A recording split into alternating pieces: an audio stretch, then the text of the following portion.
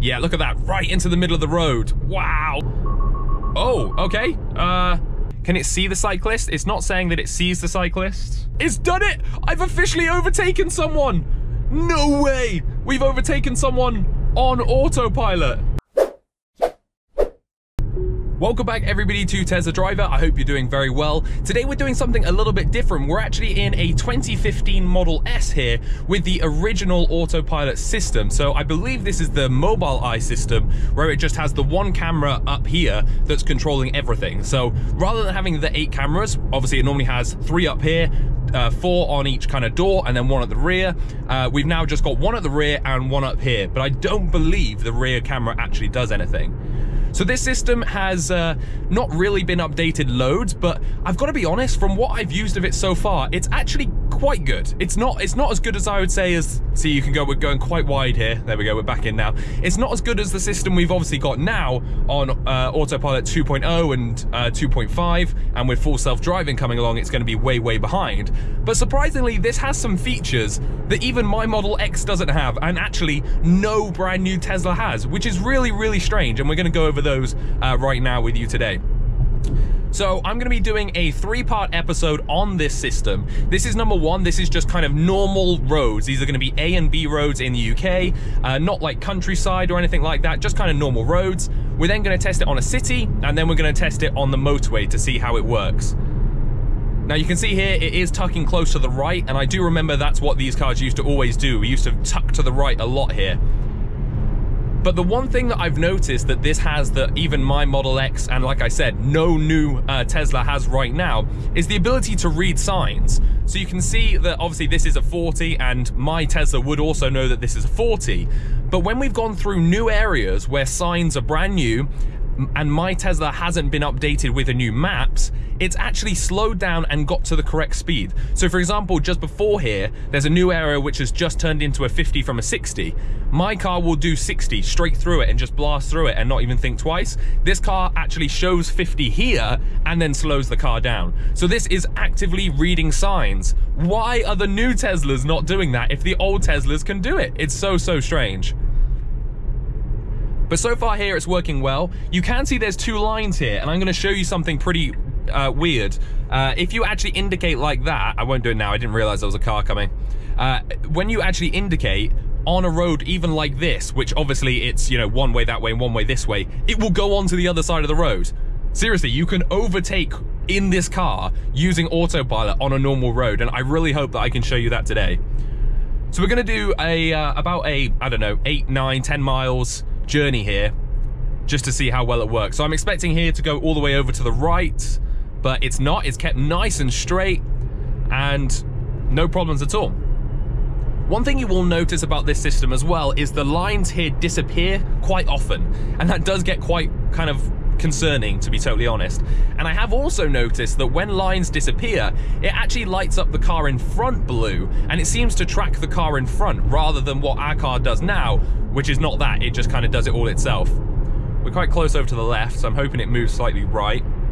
So for example here, I'm going to just go into this right-hand lane, and to do that, you have to hold up the uh, indicator. So you see I've put the stalk all the way up, and now if I bring the stalk down, like that, it will obviously now just stop and go back into normal lane. So the lane changing on this car as well, I think is better than my Model X. I really do. Whoa. Okay, so I had to uh, control it there. It was actually following that line and was kind of going over there, which was a little bit risky.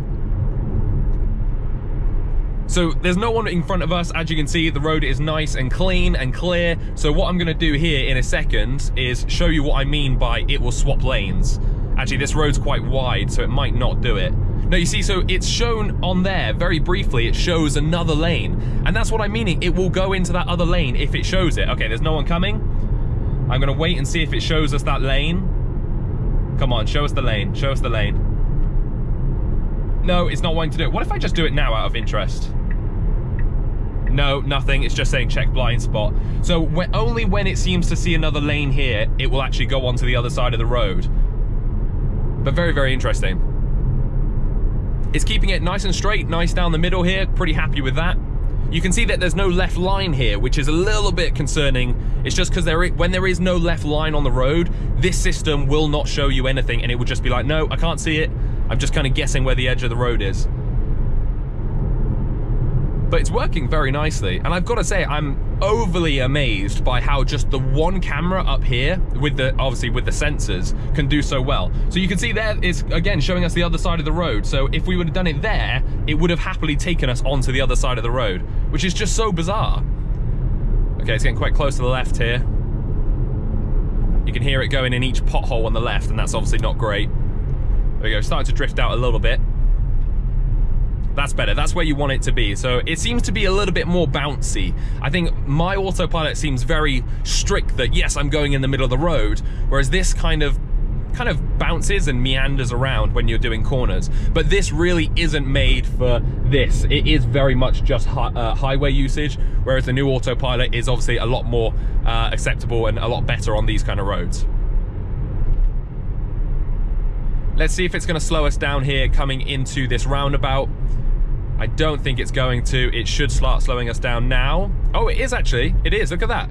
How much is that going to slow us down by? It's picked this lane. I'm going to have to obviously come off of um, autopilot myself here. I'm in the wrong lane. There's no one left of me. There's no one around me at all, actually. So I totally did that roundabout wrong, but it doesn't really matter. Okay, autopilot, you're going to come back on? Now, one thing I have had is trouble sometimes getting it on, on autopilot that is. Uh, it seems to be like a little bit more hesitant to try and get going. Whoa, whoa, okay, wow, that was kind of flinging us all over the place. Oh, it's still keeping us in the lane. Jeepers. Do you see, I haven't got the thing on here, I'm sorry about that. But did you see how it kind of went left and right and started really taking us quite close there to that left-hand side? Okay, let's try it again. This is how I remember autopilot being from when I first picked up my Model X, by the way. You couldn't use it on roads like this and be happy and confident, whereas now you can. So you see here, this van's coming over to our side of the road, so I had to obviously take it off and move over. Let's see.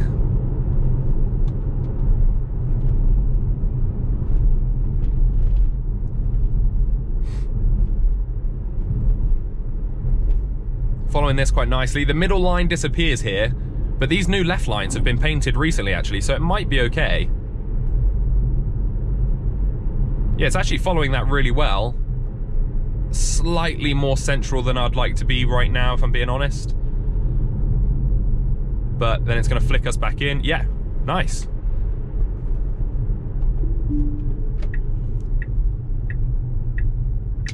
Okay, so we're turning right here, and there's actually a cyclist in front of us, which is going to be quite interesting.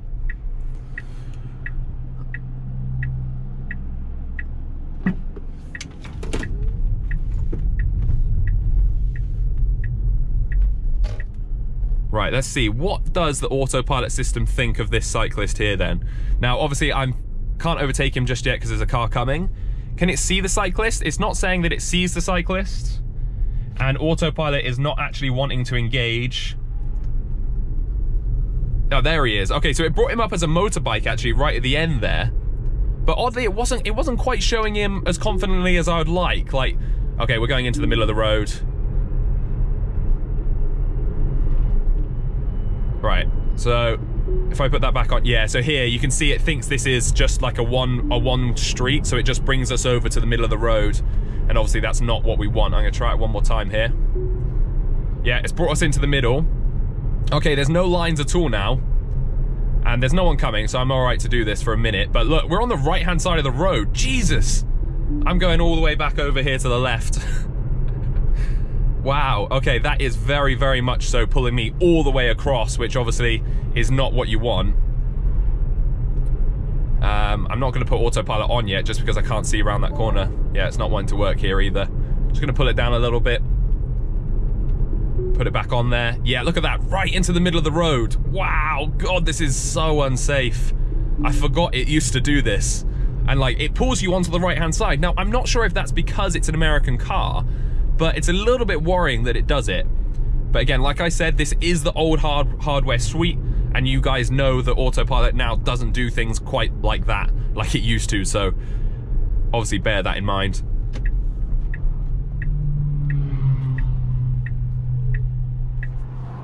All right, this is a absolutely hideous junction.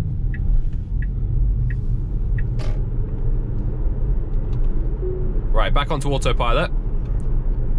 Interestingly enough, it's not showing a speed actually. And it's actually restricting me for some reason to 45 miles an hour. Which is weird because this is a 60 road. Okay, now it's saying it. There we go. Now it's brought it back up.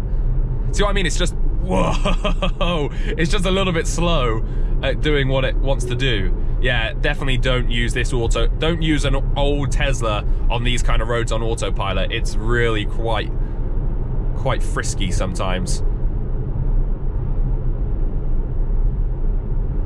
So I'm going 45, obviously in a 60 here. And I do do this bit on autopilot at 50 in my Model X and it has no problems at all. I know that it does all of this fine. So let's see if it'll do it at 45 on the old system.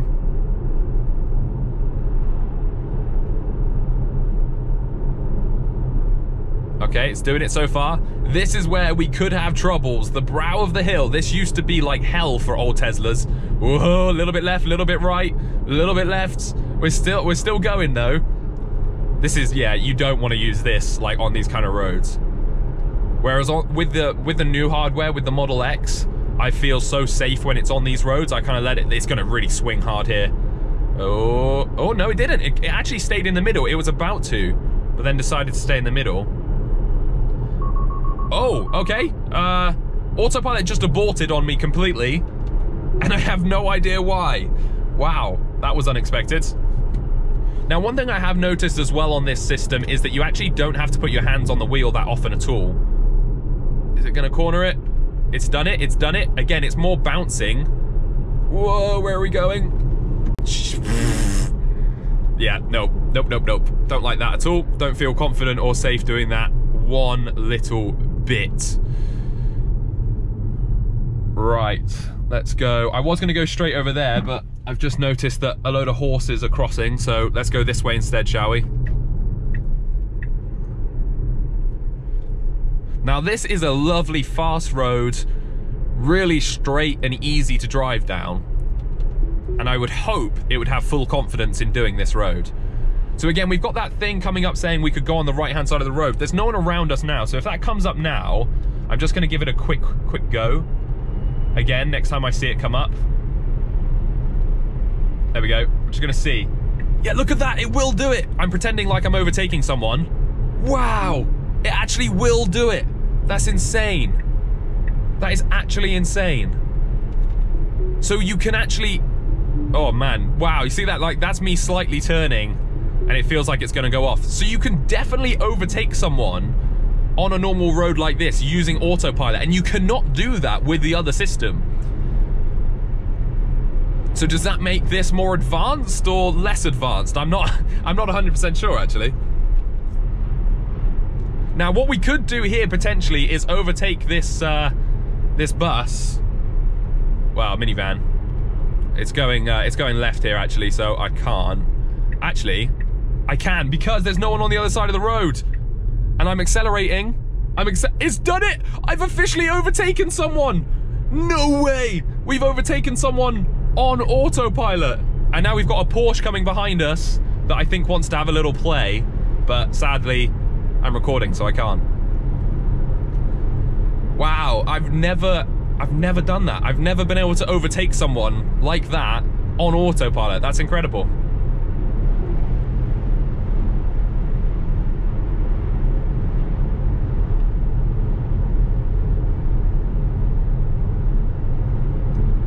Let me know actually in the comment section and hit the like button if I should get one of these maybe for a week to do some serious testing on it because I think there could be some very interesting situations you can get out of this old software and hardware. I think uh, it's it's quite interesting. And I haven't noticed yet any sort of limitation on the amount of G-forces around a corner.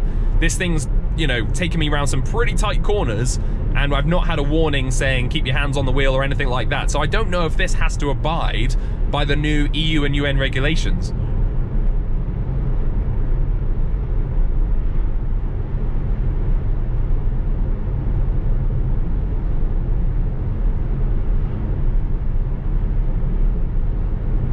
So on a road like this, it seems actually really good. Nice and steady, in the middle of the lane constantly, my sat nav, I don't know if you can see my sat nav, but my sat nav is really strange. It's like super low resolution.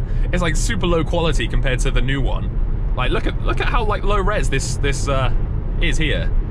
Like it's all jaggy and weird.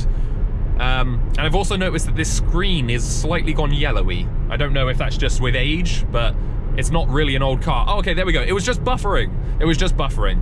So you can see now that it's loaded up. There we go.